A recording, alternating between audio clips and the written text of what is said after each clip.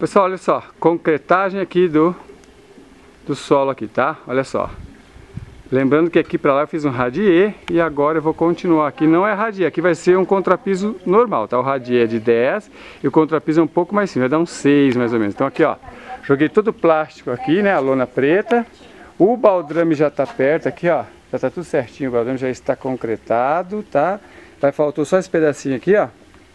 Que eu vou aproveitar o mesmo concreto. Então tá lá, toda a volta ali, baldrame concretado. E agora, lona plástica para evitar que o concreto seque muito rápido, tá?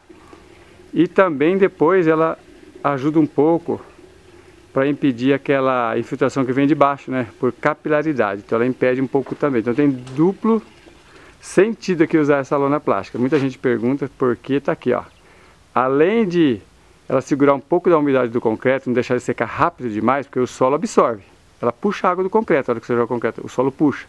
Então ela vai segurar um pouquinho isso, vai melhorar a cura do concreto.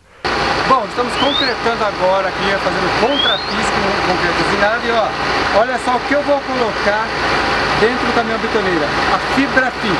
A fibra fix, ela dá mais resistência e seu concreto fica quatro vezes mais forte, olha só.